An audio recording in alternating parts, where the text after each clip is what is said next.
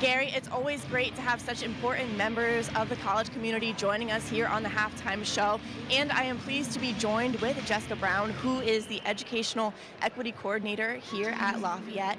And it's a big time for the college as they have just received a grant for the It's On Us campaign, which combats sexual violence on college campuses. So, Jessica, first off, congratulations on receiving this grant. Thanks so much. We're really excited.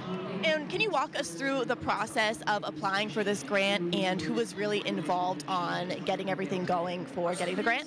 Absolutely. Um, so Jennifer Morangos and Maurice Luker in the development office were a huge help in getting this application together and submitted. Um, basically, the state lays out the specific requirements for the application, one of the major ones being what we intend to do with the funds uh, to combat sexual violence on campus. And most important, how will this grant really be utilized here at Lafayette? Right, so we envisioned uh, sort of a three phase project. The first phase being um, we plan to administer a comprehensive campus wide sexual violence survey. Um, we're going to use the results from the survey to basically influence the future education and programming needs for campus. Uh, the second phase we're planning is to increase some education and training opportunities both for students and for faculty and staff members who are involved in our investigation and adjudication process. And then finally, the third phase, um, we're planning to ramp up our bystander intervention training by bringing a research backed bystander intervention program to Lafayette. It all sounds great. And a big concern that a lot of people have when it comes to applying for a grant like this is that people might think that a problem such as sexual violence already exists on a campus. Was that a concern for you and your team when it came to applying for this grant?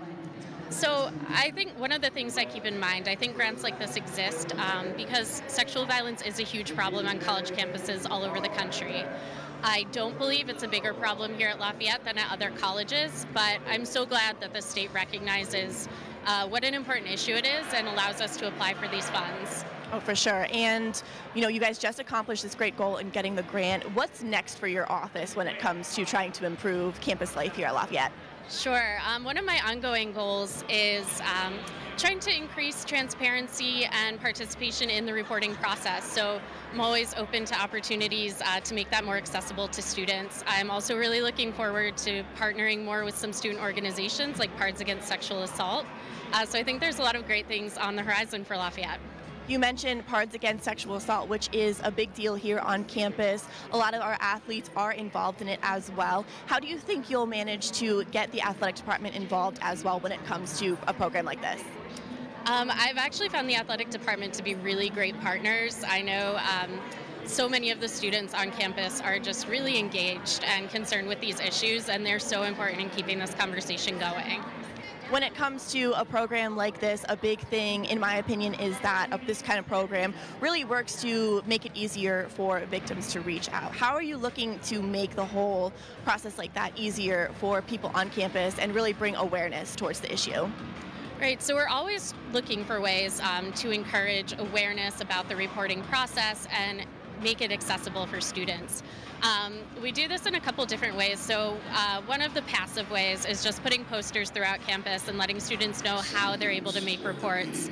Um, we do provide for anonymous reporting through our online website. Um, and we try to make students know there are a variety of ways to report uh, instances of sexual violence. Always great to hear that. And the semester starts at the end of the month. Are there any events that your office is going to look to have once the students do come back for the spring semester? Um, we do have a variety of events we're looking into throughout the semester. Right now, a big portion of our planning time is going into April, which is Sexual Violence Awareness Month.